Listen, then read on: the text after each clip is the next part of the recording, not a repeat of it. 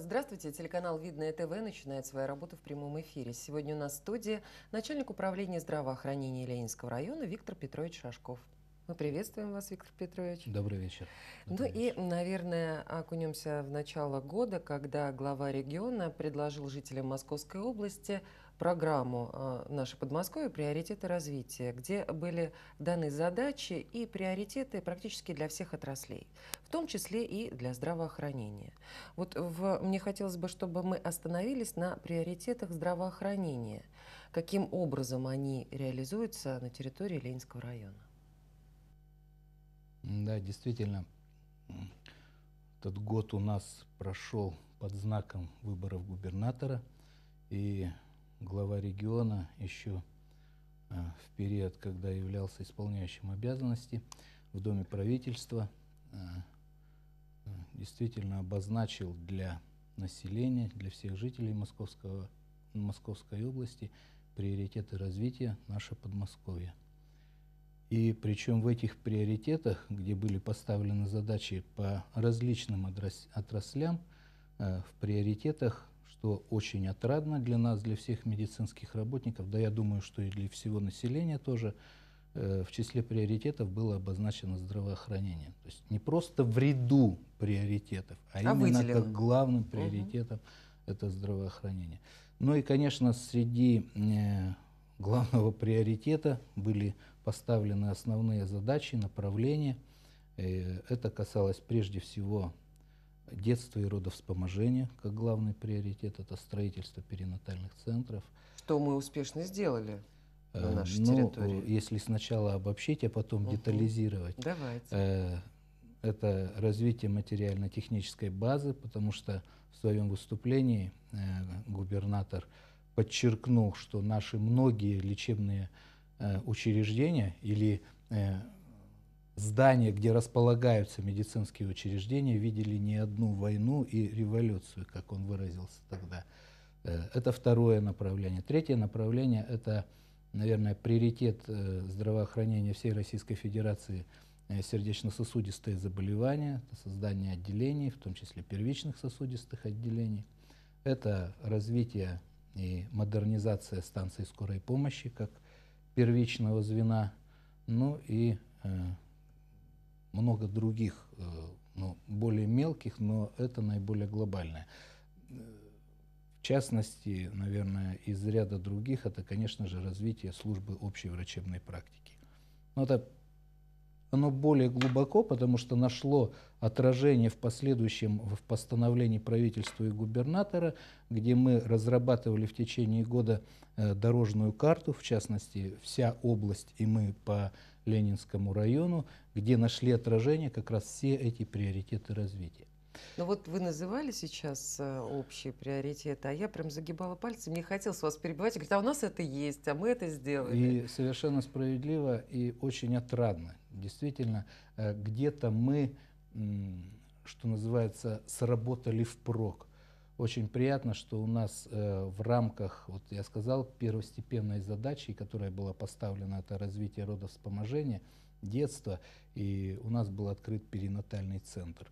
Э, я просто хочу сказать, что перинатальный центр открыть и сделать вывеску-то одно, а найти э, соответствующее развитие, последовательные шаги сделать для улучшения и базы материально-технической, потому что на сегодняшний момент э, наш родильный дом еще совсем недавно, пять лет назад, было три с половиной тысячи родов. На сегодняшний момент э, значит, уже за неполный год сделано 4, 4, принято 4400 родов. В прошлом году было 5200. Поэтому, э, естественно, уже тех рамок стен не хватает для того, чтобы ну, максимально проявить себя и что диктует сегодняшнее время, э, зарабатывать на этом, потому что ведь э, именно за счет зарабатывания мы можем опять же вкладывать и совершенствовать эту службу. Поэтому, конечно же, мы сделали, я считаю, очень важный шаг.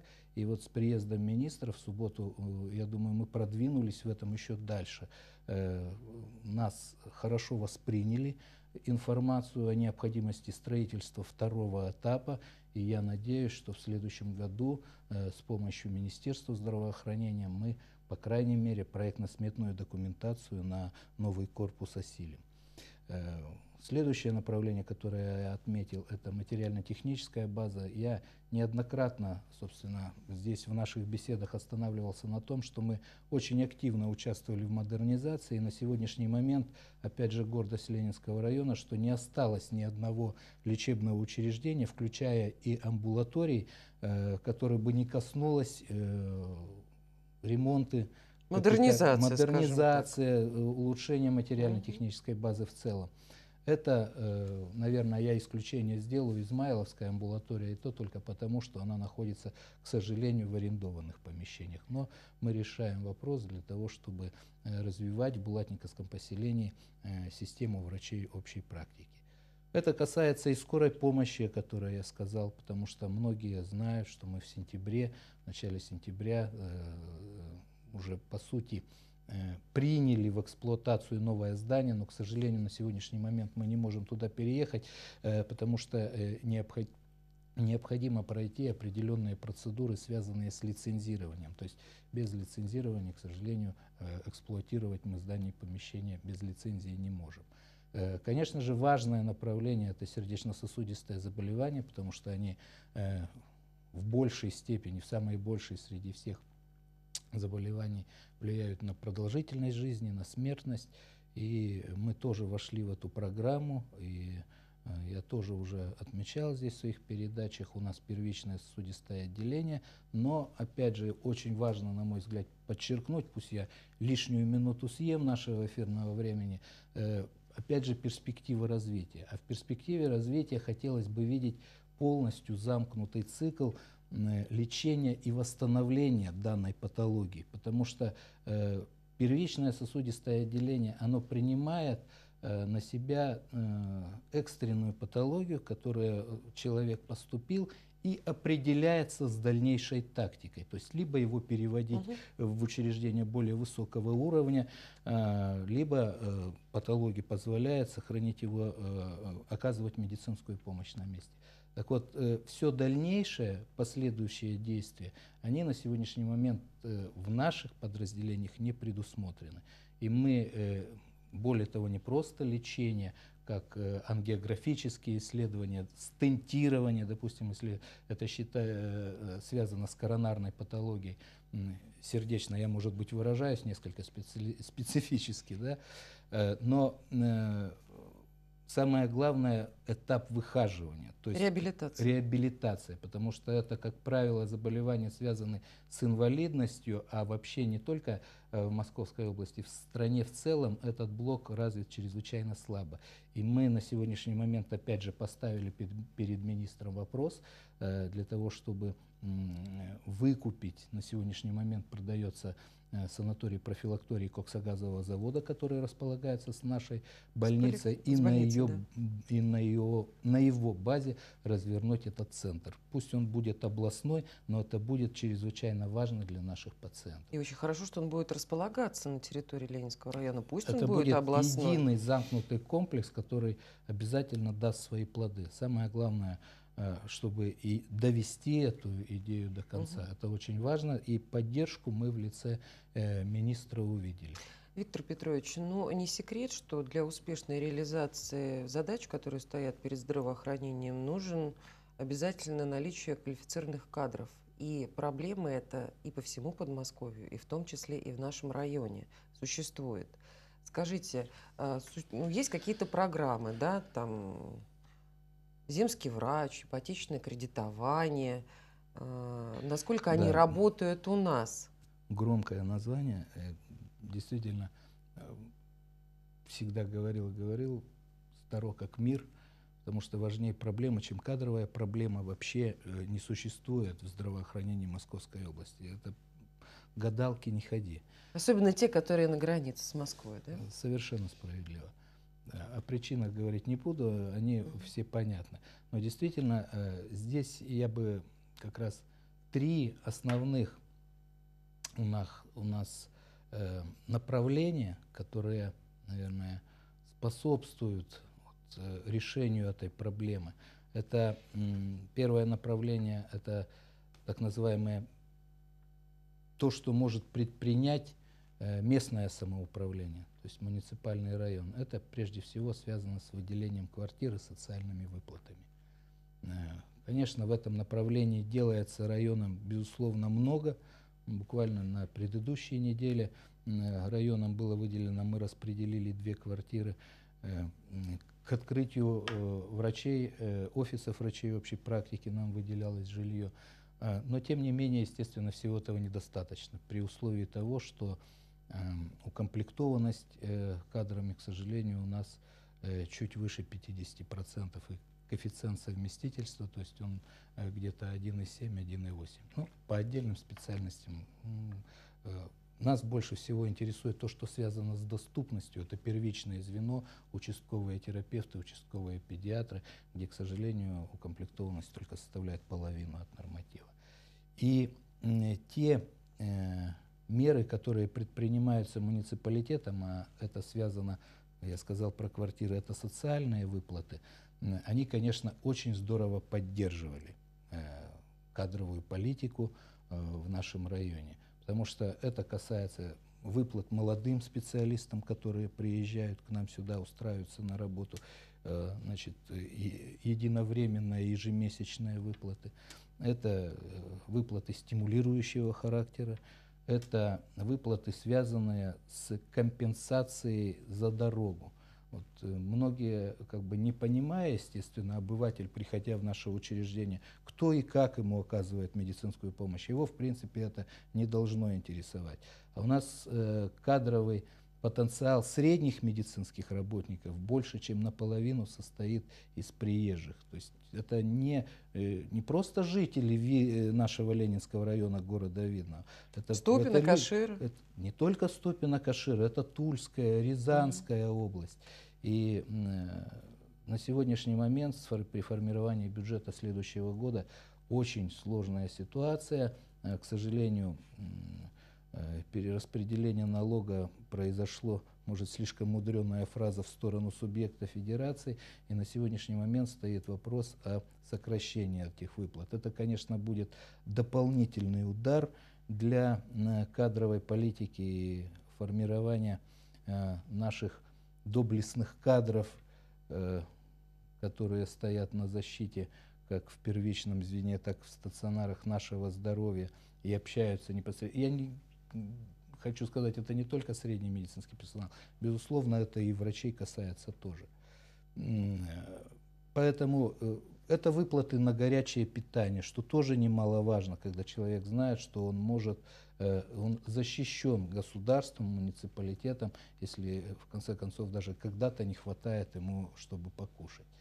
Э, это направление, касающееся муниципалитета. Ну и вы совершенно правильно озвучили Э, вопросы программные, государственные, это э, так называемый земский доктор, очень хорошая инициатива, которая получила начало э, в 2012 году. Это попадают туда, для каждой программы есть критерии. Так вот, по этим критериям туда попадают э, молодые специалисты в возрасте до 35 лет, которые приезжают для работы в сельскую местность, и э, которые заключают контракт э, с, со своим подразделением, с лечебным учреждением, что они проработают там не менее пяти лет. И им выделяется Э, государственная субсидия в размере 1 миллиона рублей э, для приобретения или улучшения жилищных условий. Если они не э, увольняются, не будут работать, то они обязаны вернуть эти деньги. Угу. Это очень хорошо сработало, это позволило нам привлечь в прошлом году, в эту программу вошли у нас 5 человек. Это ну, исходя из той численности докторов, которые у нас есть, особенно для первичного звена, это чрезвычайно важно и хорошо. А, причем эта программа планирует развитие и работу в следующем году. А вот вторая программа и направление ипотечного кредитования, ну, на мой взгляд, может быть, не совсем принято у нас что-то критиковать, принятое э, верховной властью или выше. Но пока она еще не работает, скажем Она не так. просто не работает. Мне кажется, она, самое главное, может быть, она и не заработает, потому что она не решает тех главных задач, ради которых она создана потому что мы э, должны привлекать кадры, мы должны их закреплять, а с условием того, что она принята. Ну вот, к примеру, она направлена конкретно на учителей и врачей.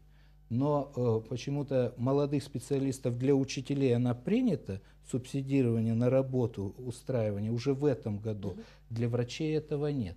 И э, более того, те критерии, о которых я сказал, которые разработаны для привлечения кадров, они просто отрезают эти кадры для того, чтобы они вошли в эту программу. Я вам просто очень коротко скажу, что э, когда эта программа создавалась, э, и от Министерства здравоохранения нам было прислано письмо о подготовке, пришлите нам список, кто хочет участвовать. У нас набралось более 50 человек, мы отправили туда список.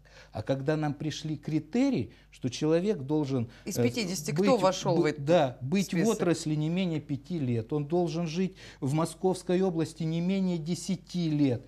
У нас осталось 5 человек. И при всем при том, если муниципалитет им не поможет для вхождения в эту программу, а деньги пока не заложены на следующий год, то и они туда не попадут. Для чего же тогда эта программа принималась? То есть она э, и э, наш зампред правительства Лидия Николаевна Антонова, она когда проводила селектор, выступала, и ей были высказаны пожелания по корректировке этой программы. И в Министерство здравоохранения мы направили письмо, чтобы они инициировали изменения этих критериев. Иначе мы э, эту проблему не решим. Виктор Петрович, поступает вопрос, и вот от работников скорой помощи. Спрашивают у вас, как начальника управления, когда будет порядок у водителей скорой помощи? Точнее, хотим нормальной заработной платы, хорошего технического состояния машины, обслуживания и своевременный ремонт транспорта, а также человеческих условий труда. Ну, очень сложный и такой а, объемный вопрос – что касается человеческих условий труда, начну с последнего, наверное, я на него уже отметил. Э, значит, когда ну, будет новая база, мы пролицензируемся, там прекрасные условия труда, в том числе для отдыха, созданы конкретно водительского состава, uh-huh. фельдшерского, врачебного состава. Что касается заработной платы, то, ну, наверное, человек ищет где лучше, я одно могу сказать. Э, сейчас взять и заявить, что обязательно люди ждите, завтра это будет лучше, я так сказать не могу, потому что э, есть э, соответствующие тарифы, оплата труда и вообще финансирование станций скорой помощи оно вошло в систему обязательного медицинского страхования, и это все финансируется по соответствующим тарифам сколько заработала скорая помощь, сколько она сделала э, вызовов, э, как она выполнила те программы, которые э, вкладывались для формирования базы расчетной. Таким образом, а они исчислялись на основании и всех стажевых показателей и многого другого. Поэтому, наверное, более конкретно этот вопрос, если бы кто-то... Мы неоднократно проводили совещания в скорой помощи, в том числе с водителями, и э, дело в том, что на обслуживание автомобильный парк находится у ПТП? Нет, у предприятия, которое выигрывает конкурс. Угу. ПТП участвовало в этом конкурсе, им условия показались невыгодными, и поэтому на услов... если не устраивает э, база, а я понимаю, что у нас база подизносилась, работа проводится, э, опять же, я сошлюсь на разговор с министром, которая приезжала, мы отправили заявки в Министерство здравоохранения на совершенствование базы. Поэтому я думаю, этот вопрос будет решаться. А что касается обслуживания, то это все вопросы надо обратить к этой обслуживающей организации, которая выиграла конкурс. Продолжим дальше. Давайте вспомним, как мы говорили о программе «Наше Подмосковье. Приоритеты развития». И вы говорили цитату э, Андрея Юрьевича Воробьева о том, что некоторые наши больницы были и при войнах, и при революциях. Вот у нас тоже есть такая больница, это инфекционная ни для кого не секрет, что она в не очень хорошем состоянии. И а, не раз уже говорилось о том, что будет новая больница. Как двигается этот вопрос? Двигается этот вопрос. Очень отрадно, что он двигается. Наверное, у всех на памяти и на слуху э, закладывание камня рядом с нашим больничным э, комплексом по строительству инфекционного корпуса. К сожалению, вот неупорядоченность в, в земельных отношениях, а, оказывается, эта земля была кем-то приобретена уже ну, привела к застою. Привела к определенному застою. Когда ничего не, не, не могло да. решиться. И на сегодняшний момент я хочу сказать, что за этот год уже принято было решение э, по... Во-первых, есть финансовые средства. То есть мы вошли в программу строительства, э, Минстроевскую программу областную, где заложено 256 миллионов рублей на строительство корпуса. Э, был проведен э, конкурс и, соответственно, состоялась э, план планировки, то есть где будет располагаться этот корпус, а он будет располагаться на территории больницы между взрослой поликлиникой и стационаром. То есть это, эти мероприятия уже проведены, и на сегодняшний момент уже 1 ноября состоялись общественные слушания никаких возражений и противоречий по поводу э, именно привязки здания туда нет. И на сегодняшний момент уже э, больницей проведены работы по э, медицинскому так называемому техническому заданию для проектной организации. Это будет выставлено на конкурс, и э, больница на 40 коек, инфекционная больница с реанимационным отделением, с боксами, все как положено. Э, в следующем году, по крайней мере, это в программе, мы обязаны будем это освоить. После того, как будет проект, а это э, порядка пяти месяцев, мы сразу выходим на конкурс и на строительство объекта в следующем году. Ну, отрадные новости. У меня вопрос от телезрительницы. Проживаю в многоквартирном доме по Жуковскому проезду. Неделю назад в подъезде было размещено объявление – о поквартирных обходах медиков в связи с выявленным случаем кори у одного из жильцов дома. Насколько опасна эта болезнь и нужно ли делать прививку, спрашивает наша телезрительница. Ну, это не особо опасная болезнь. Ну, я даже думаю, жительница наверняка знает, у нее были дети, мало кто из детей порой не болел корью. Ну, говорят, что как раз дети-то легче переносят. Совершенно справедливо. Совершенно справедливо. Именно для этого это объявление и жительница увидела в своем подъезде.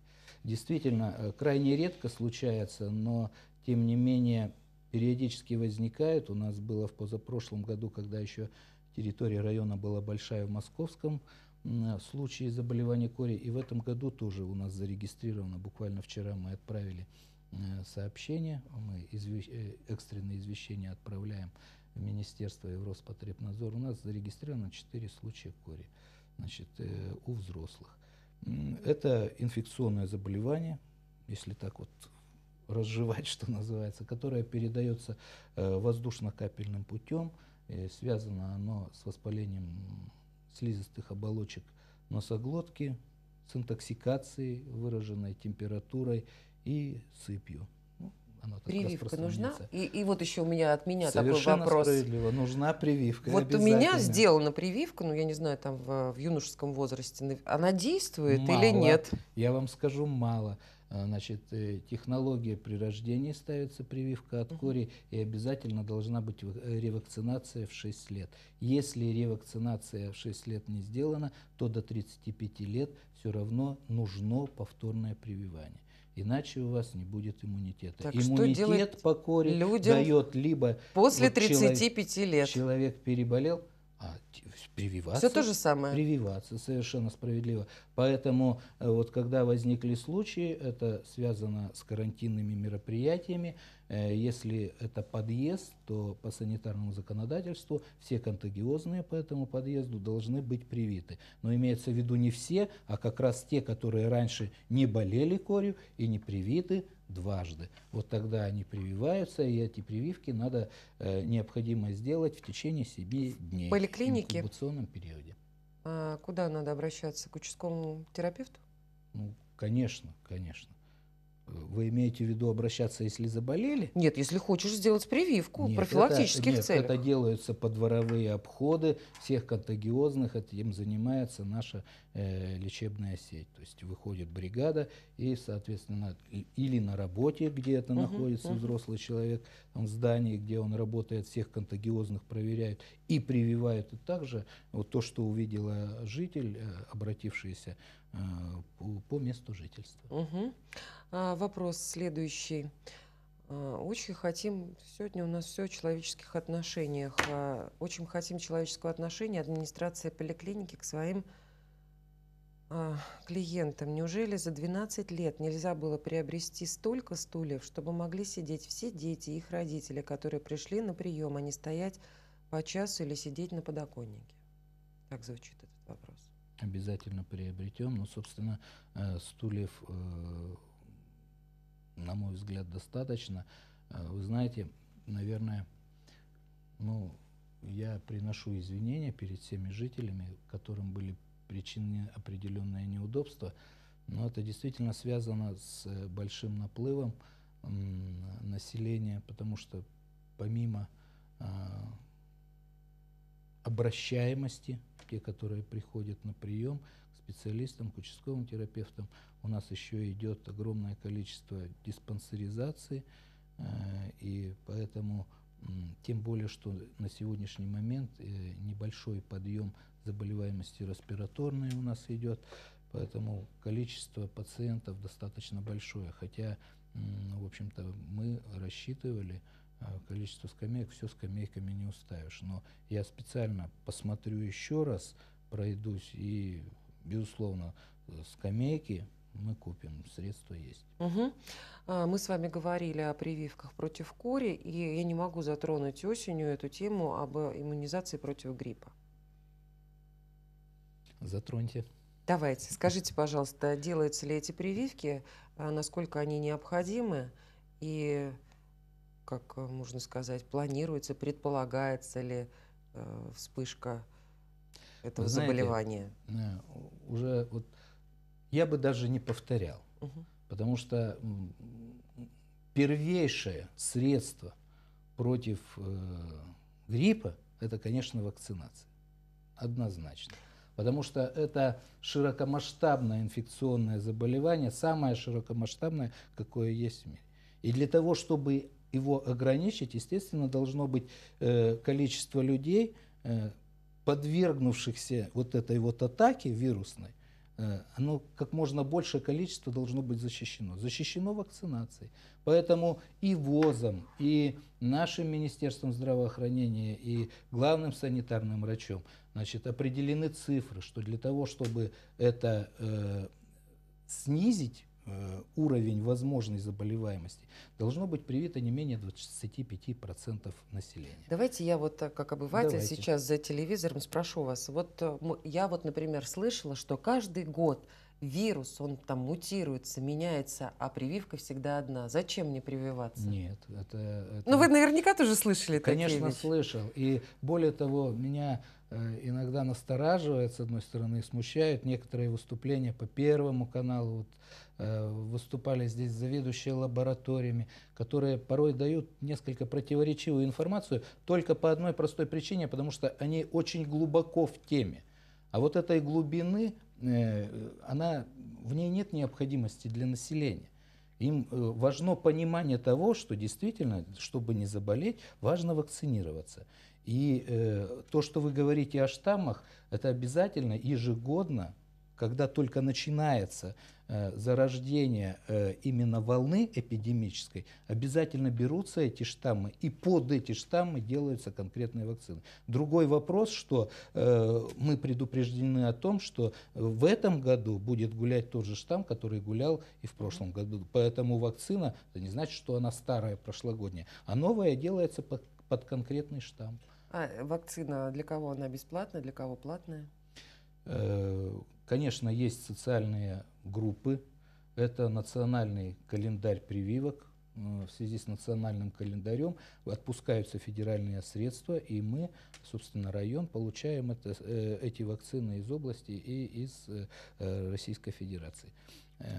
Значит, подвергнуты вот эти социальные группы, это прежде всего дети – Э, значит, э, дети, которые находятся в организованных коллективах, Детские сады, школы. Совершенно справедливо. Детские сады, школы.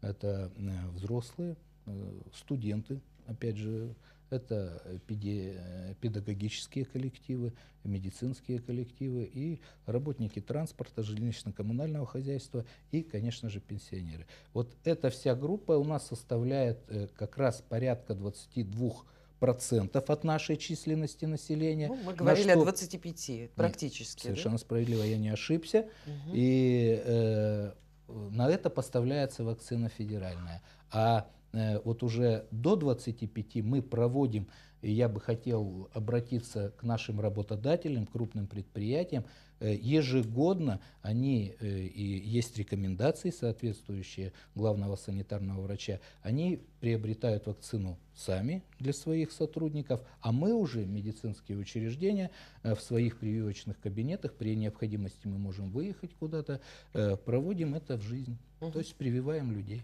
Виктор Петрович, время эфира у нас подошло к концу. И последний вопрос, прям блиц-ответ. Видела по телевизору сюжет о проводимой диспансеризации. А, я, наверное, в этом году не успею. В 2014 году будет диспансеризация? Да, да, обязательно. Э, если это Блиц, то я уже говорил о диспансеризации, что мы Э, проводим сейчас э, поэтапно от 21 года дробно через 3 года.